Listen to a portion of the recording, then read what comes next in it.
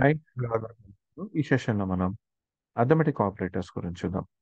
So what are arithmetic operators arithmetic operators are used to perform mathematical calculations such as addition, subtraction, multiplication, division on the given operand values.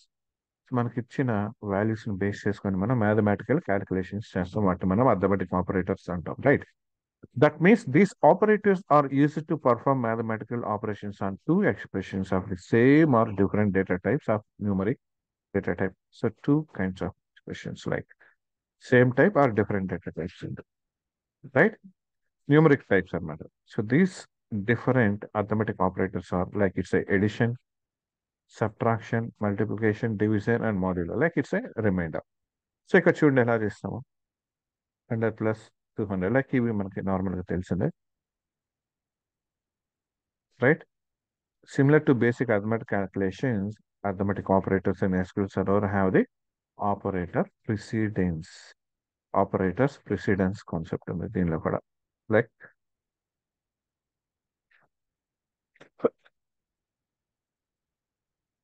how arithmetic operators are evaluated.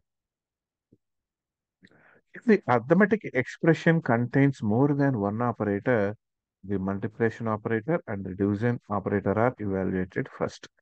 Like మనం combination ఇస్తా ఉంటాం multiple like A plus B into C like divided by C like divided by D ఇలా ఇస్తా ఉంటాం కదా so ఇలాంటి కేసులో first ఏది మనకి జరుగుతుంది అనేది చూడాలి లైక్ మనకి బాడ్ మాస్ రూల్ ఉంది correct BODMAS BODMAS bracket of division multiplication addition and subtraction so ఇది రూల్ యాక్చువల్ మనకి సో ఇలా division operator are evaluated first and then the addition and minus operator are evaluated so like multiplication and division జరుగుతాయి first right when two operators have the same priority the expression is evaluated from left to right so మనకి ఎప్పుడైతే same operators ఉన్నాయి అనుకోండి. Like same అన్ని A plus B plus C ఇలా ఉన్నప్పుడు మనకి ఏంటంటే లెఫ్ట్ నుంచి రైట్కి ఎడిషన్ చేసుకుంటా వెళ్తుంది. Parentheses can be used to force an operations to take priority over any other operators. Like మనకి పెరాన్సిస్ ఉంటాయి సో పెరాన్సిస్ ఇచ్చినప్పుడు ఏంటంటే బట్ ఫస్ట్ ప్రియ లైక్ ప్రియారిటీ అనేది ఫస్ట్ అదే తీసుకుంటుంది. దానిలో ఉన్న ఏదైతే ఎక్స్ప్రెషన్స్ ఉంటుందో అది కాన్క్లేట్ చేస్తుంది అనమాట and parenthesis also use to improve code readability like ఇది మనకి ఈజీగా ఉంటుంది. లైక్ ఇక్కడ చూడండి ఈ కేసులో చూడండి ఈ కేసులో చూడండి క్లియర్గా అర్థమవుతుంది మనకి. రైట్ సో ఎప్పుడైతే మనం పరాన్సిస్ లైక్ ఈ స్క్వేర్ బ్రాకెట్స్ అనుకోండి మామూలు పరాన్సిస్ ఎప్పుడైతే యూజ్ చేస్తున్నామో అప్పుడు ఏం జరుగుతుందంటే మనకి కోడ్ అనేది ఈడబిలిటీ ఈజీగా ఉంటుంది. ఎందుకంటే ఇక్కడ ఇది డివిజన్ చేయాలా లేదంటే ఈ రెండు యాడ్ చేసుకోవాలా అని కన్ఫ్యూజన్ ఉంటుంది యాక్చువల్గా సో ఇక్కడ వచ్చేసి చూడండి ఫస్ట్ ఇది ఈ రెండింటిని యాడ్ చేసుకుంటుంది ఎందుకంటే బ్రాకెట్ ఇచ్చింది like BODMAS rule clear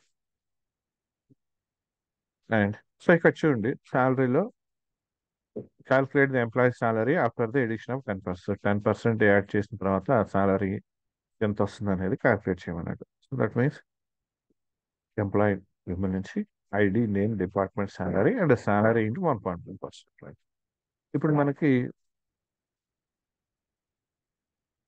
hundred అనుకోండి. టెన్ పర్సెంట్ పెంచారు. దట్ మీన్స్ వన్ టెన్ అవుతుంది.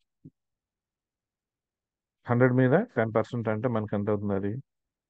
Ten hundred. లైక్ టెన్ పెరుగుతుంది. దట్ మీన్స్ అది వన్ టెన్ అవుతుంది. తెలిసింది రైట్? వన్ టెన్ రూపీస్ అవుతుంది. సో అది క్యాల్కులేట్ చేయడానికి ఇక్కడ మనం లైక్ పర్సంటేజ్ కాబట్టి వన్ పాయింట్ వన్ తీసుకున్నాం. రైట్? అండ్ ఇక్కడ కూడా అంతే. Like depends on condition like మనం ఇచ్చిన కండిషన్ బేస్ చేసుకుని శాలరీ అనేది క్యాల్కులేట్ అవుతుంది and arithmetic operators operations on string value C ఎప్పుడైతే మనకి ఇక్కడ స్ట్రింగ్లో అర్థమెటిక్ ఆపరేటర్స్ అనేది యూజ్ చేస్తూ ఉంటామో లైక్ ఇక్కడ ఇది వచ్చేసి కన్కాటనేషన్ కిందకి వస్తాం ఇక్కడ లైక్ నార్మల్గా నార్మల్గా అంటే string and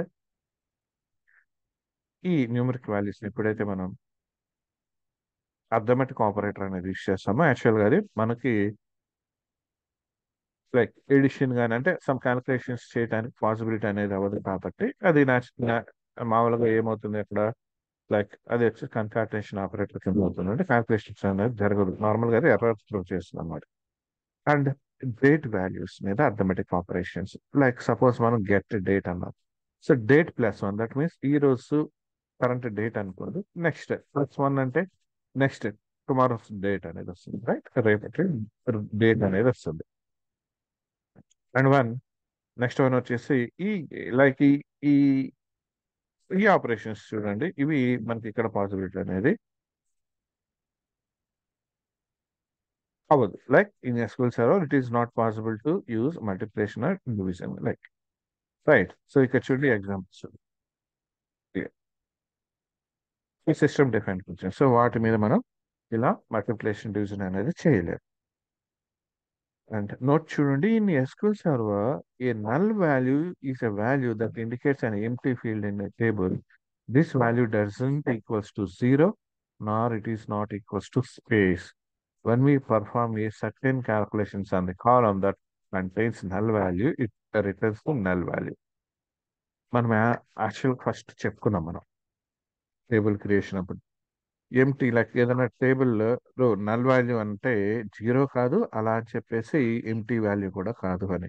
That means null value means it expect something like ఫ్యూచర్లో దాన్ని మనం వాల్యూని ఇన్సర్ట్ చేస్తామని. సో దాని మీద ఆపరేషన్ చేస్తే అది రిటర్న్ చేసే వాల్యూ కూడా మనకి సేమ్ నల్ వాల్యూనే ఉంటుంది.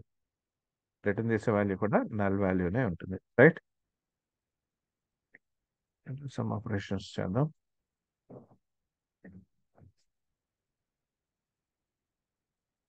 సెనట్ గెట్ డేట్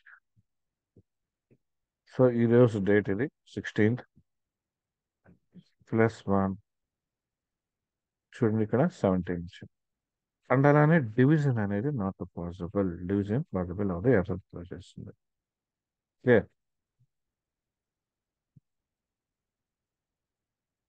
సో ఇవి మనకి ఐడియా ఉన్న టాపిక్స్ బట్ ఒకసారి రివిజన్ చేసినటువంటిది అని చెప్తున్నాను. సో కాన్సెప్ట్ అయితే అర్థమైంది కదా? ఏం న్యూ కాన్సెప్ట్తో మళ్ళీ కలుద్దాం థ్యాంక్ యూ